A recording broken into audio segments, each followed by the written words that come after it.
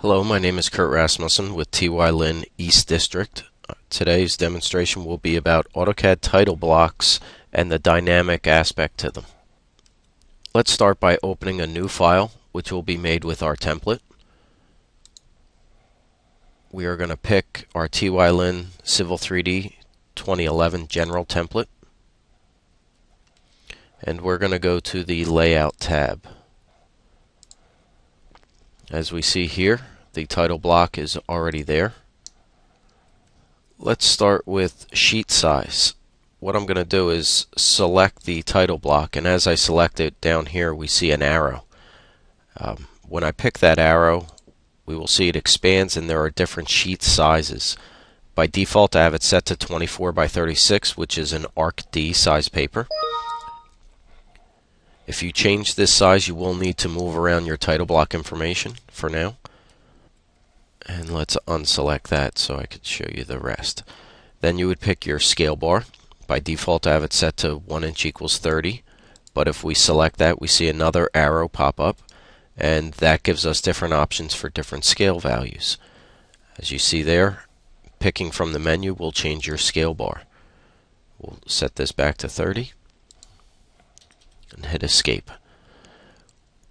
Over here we also have our title block. If we pick our title block, we see that the address is set for the Hamilton office. If we are to open that, we have the option of the other offices within our district. Makes it more convenient for everybody to use the same standard when setting up their title block. Next, I'm going to pick the professional's name, signature line. As we expand this, we see that there is a whole list of employees that work here that we could change their information and make sure that we have the li right license number.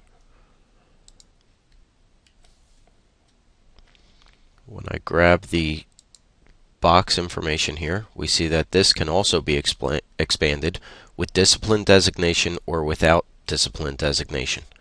We also see here that these items are gray. These are fields which are connected to a sheet set. I will cover that during another demonstration. The revision box, if you need to add more, I have this feature of grabbing the arrow and just expanding it up for how many you need. Very dynamic and quick. It will make it all the exact lengths that it needs to be. And finally, the north arrow. This is our standard north arrow you can select this and there is a pull down menu for you to use the New Jersey State Plane north arrow or I also have a fancy one which is generally used for reports, presentations, things like that.